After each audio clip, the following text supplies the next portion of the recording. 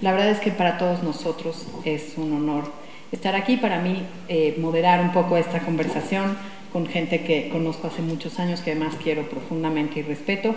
Es también un honor, así que pues la verdad es que estamos muy contentos de poder estar aquí. Híjole, ¿qué es lo que tenemos que hacer? Hacer las películas, mejores películas que podamos.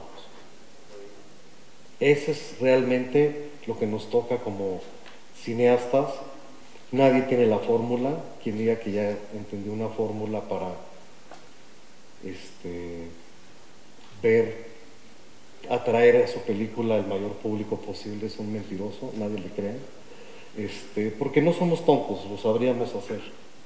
Y sin embargo, son una cantidad de variables para que una película se haga y de ahí llegue al público ¿no? que es enredadísimo. Entonces, ¿qué nos toca? Seguir produciendo y hacer las mejores películas que podamos. Pienso que como realizadores, productores, eh, la, primera responsabilidad es hacer buenas películas las mejores posibles.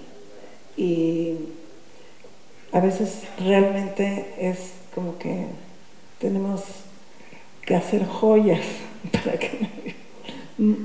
para estar presentes.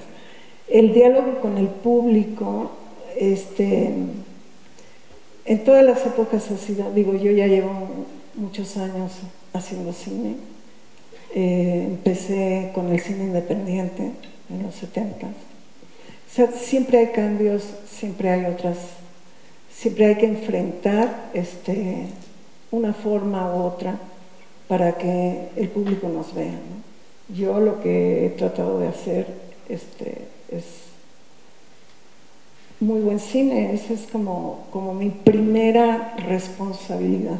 De cuentas, eh, coincido con mis dos compañeros que eh, como creadores o como artistas o como cineastas, nuestro deber fundamental es hacer películas buenas y yo siempre he pensado que el público tiene que ir a las películas más que las películas al público. Yo no creo que las películas sean primordialmente operaciones comerciales. Aunque claro que una gran parte de la gente que hace cine, esa es, esa es la razón por la que lo hace. ¿no?